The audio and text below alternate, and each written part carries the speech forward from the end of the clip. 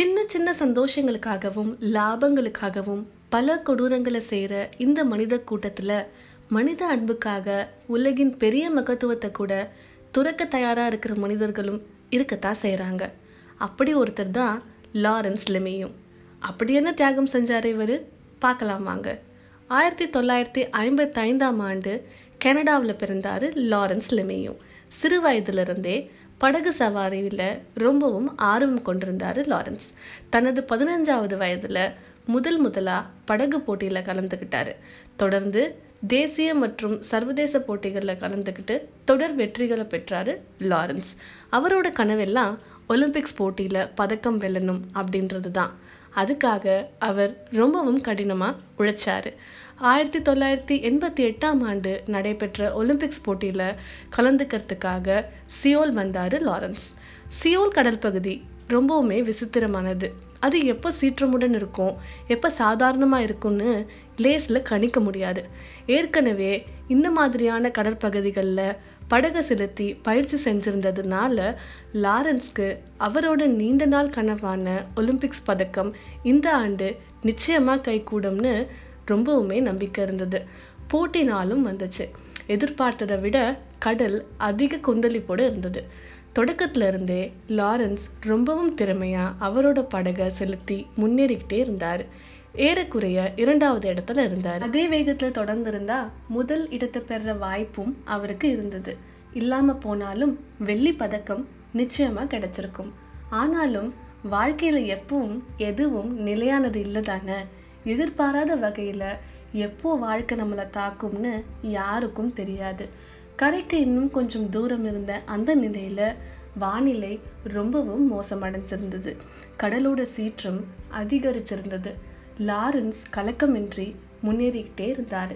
அவருக்கு பின்னால் வந்துட்டு இருந்த சிங்கப்பூர் வீரர்கள் இருவர் அந்த சீற்றமிக அலைகளை சமாளிக்க முடியாமல் திணறிட்டு இருந்தாங்க. ஒரு பிரம்மாண்டமான அலை அவங்களோட படகை புரட்டி போட்டுச்சு. படகு கவிழ்ந்துச்சு. அதில் இருந்த வீரர் ஒருவர் வெகு தூரத்துக்கு தூக்கி வீசப்பட்டார். அந்த வீரர் தண்ணியில் விழுந்த வேகத்தில் சுய கட்டுப்பாட்டை இழந்து மூழ்க ஆரம்பித்தார் லாரன்ஸ் இது எல்லாத்தையும் பார்த்துக்கிட்டு இருந்தாரு. அவர் மனசு பதறிச்சு. எங்க அந்த வீரர் மூழ்கிடுவாரோன்னு பயப்பட்டாரு. வீரர்களை காப்பாற்ற பின்னால வந்துட்டு இருந்தது அந்த ஆரஞ்சு நிற மீட்பு படகு. அது ரொம்பவும் தொலைவில் இருந்தது. அது வர்றதுக்குள்ள எது வேணாலும் நடக்கலாம். லாரன்ஸ் ஒரு நொடியும் யோசிக்காம தன்னோட படகுல இருந்து கடலுக்குள்ள குதிச்சாரு. தன்னோட வாழ்க்கையின் கனவு கைகூடும் அந்த நேரத்துல லாரன்ஸ் ஏன் இப்படி செஞ்சாரு? எது அவரை போட்டியிலிருந்து விலகி இப்படி அடுத்தவருக்கு உதவ ஓட செஞ்சுச்சு? அடுத்த போட்டிக்கு இன்னும் நாலு வருஷம் இருந்தது. அப்போது அவருக்கு வயசும் கூடியிருக்கும். இதை போல சிறப்பாக செயல்பட முடியுமோ என்னமோ? ஒரு வேளை முடியாமல் போயிடுச்சுன்னா வாழ்க்கை முழுக்க ஒலிம்பிக் பதக்கம் என்னும் அவரோட கனவு வெறும் கனவாகவே முடிய வேண்டியது தான் ஆனால் இது எதை பற்றியுமே அவர் யோசிக்கல. லாரன்ஸ் பார்த்ததெல்லாம் மனிதன் ஒருத்தன் நீரில் மூழ்கிற காட்சியம் மட்டும்தான். இதை பார்த்த அடுத்த கணம் லாரன்ஸ் தண்ணியில் குதிச்சிட்டாரு. நீந்தி சென்று அந்த வீரர்களை மீட்டெடுத்தாரு.